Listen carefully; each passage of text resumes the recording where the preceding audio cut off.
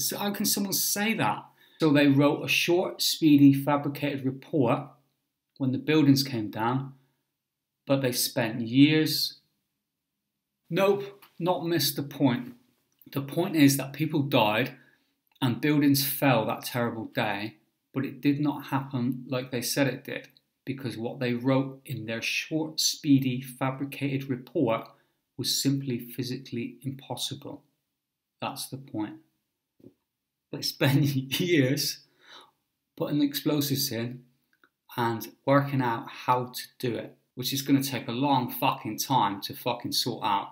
But they forgot to write the report. It's like, teacher, I forgot my fucking homework, Well, the dog ate my homework.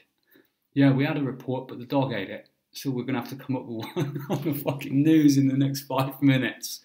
Did anybody write a report? No, nobody's written a report.